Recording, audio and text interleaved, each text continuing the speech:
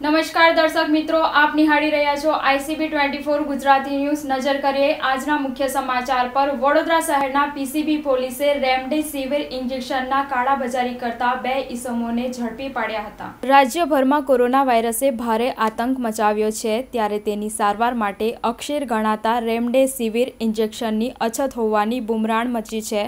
વડોદરામાં એવા કાળાબજારી કરતા બે ઇસમોને પીસીબી પોલીસે ઝડપી પાડ્યા હતા.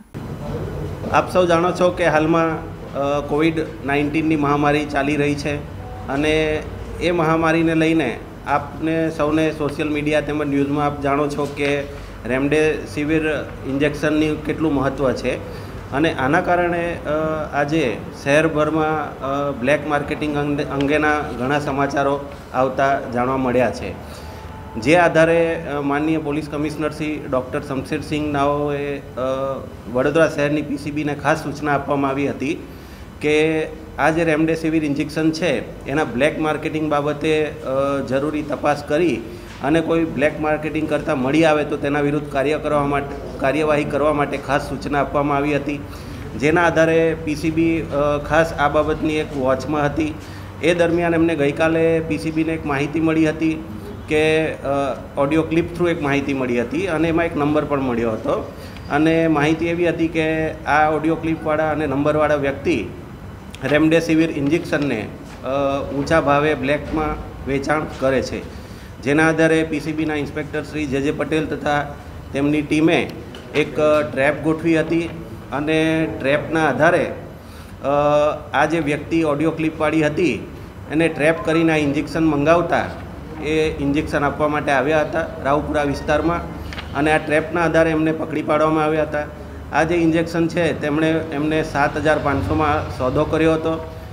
સ્થળ પરથી એમની ધરપક અટક કરવામાં આવેલી હતી અને તેમની પાસેથી એક ઇન્જેક્શન કબજે કરવામાં આવ્યું હતું. આ જે આરોપી હતા, એમનું નામ ધીરેન દલસુખ નાગોરા છે અને વારસિયા રિંગ રોડ વિસ્તારમાં રહે છે. પોતે એક આયુર્વેદિક ડૉક્ટર છે અને હાલમાં તે લોકોને એમને કોવિડનો ટેસ્ટ કરાવી નેગેટિવ આવતા આજરો તેની ધરપકડ કરવાની તજવીજ ચાલુ છે. આ ઉપરાંત ગઈકાલે એના પરથી જ બીજી બાતમી મળી હતી કે પાણીગેટ વિસ્તારમાં પણ આ જ પ્રકારની એક વ્યક્તિ બ્લેક માર્કેટિંગ કરીને ઇન્જેક્શનનું વેચાણ કરે છે.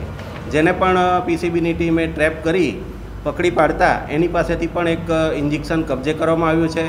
પોલીસે જે વ્યક્તિને અટક કરવી છે, એનું નામ રાહુલ પ્રવીણ વાડન છે અને તે મૂળ બાલાસિનોરનો રહેવાસી છે અને હાલમાં એ મુસ્લિમ હોસ્પિટલ ખાતે મેલ નર્સ તરીકે નોકરી કરે છે.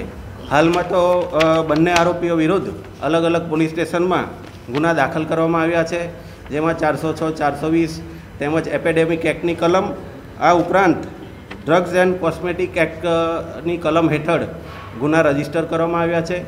તે લોકોના કોવિડના ટેસ્ટ નેગેટિવ આવતા એમને ધરપકડ કરવામાં આવશે આજરોજ અને આ જથ્થો આ લોકો ક્યાંથી લાયા છે?